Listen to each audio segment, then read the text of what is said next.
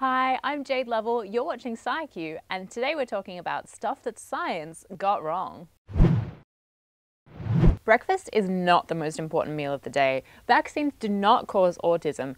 Talking to people on their doorstep is unlikely to change their opinion of gay marriage, and eating cholesterol laden food like eggs and bacon is unlikely to affect your health. No. These are just some of the things that science has got wrong in recent years. And, you know, we kind of expect science to be wrong sometimes. With thousands of studies being published every year, there's got to be a small margin of error. That's kind of to be expected. But recently, the annual rate of retractions by scientific journals has increased by more than tenfold, which means this is not a small margin of error, but a huge problem in the sciences. So how do we get it so wrong? Well, in a study of over 2,000 biomedical and life science articles that were retracted, about one in five were retracted because of some sort of error. And, you know, that's kind of to be expected. But what's scary is that over two thirds were retracted because of some form of scientific misconduct, including fraud, suspected fraud, or just making the numbers up. I can delete that dot because that's clearly a measurement error. And we know that's a measurement error because it's messing up my data. This is a real problem. A 2009 meta-analysis of retracted papers found that one in three scientists confessed to questionable scientific practices, which can include anything from dropping data points based on gut feeling to plagiarism. Scientists also confessed to changing the design, methodology, or results of a study based on pressure from funding sources. Changing results based on pressure from funding sources, that's not science, that's fraud.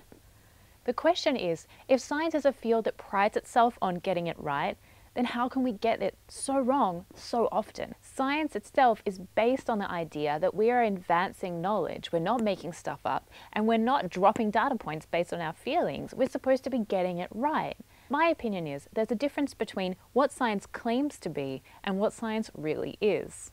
Science claims to be a field where we get it right, we advance scientific knowledge, we don't make things up based on our feelings. And yet, in the real world, science is influenced by so many non-objective factors, not the least of which is money. Pressure from funding sources can influence results, but it can also affect what we're investigating in the first place. Obviously, scientists are going to go into fields where there are grants to be had and not try and investigate something that might be more important but less well funded. Scientists are also influenced by career funding. Obviously, if you get published more, you're more likely to get a good job and the salary that goes along with it. Publication bias has been a well documented issue for over 30 years, and as long as scientists' careers are based on how often they get published and journals accept papers based on results, then scientists are going to be pressured to produce results when maybe there aren't any. The whole field of science needs to recognize that we're addicted to narrative. We all want to be that scientist that cures cancer, that finds a new thing. Yet the vast majority of science is simply investigating things where we might find a negative result and we might find a positive result.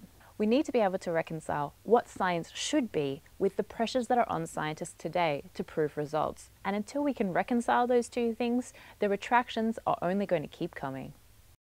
Hi everyone, I'm Jade Lovell, resident science nerd on the Young Turks Network. You're watching SciQ and we know you don't want to miss an episode, so please click the subscribe button down below.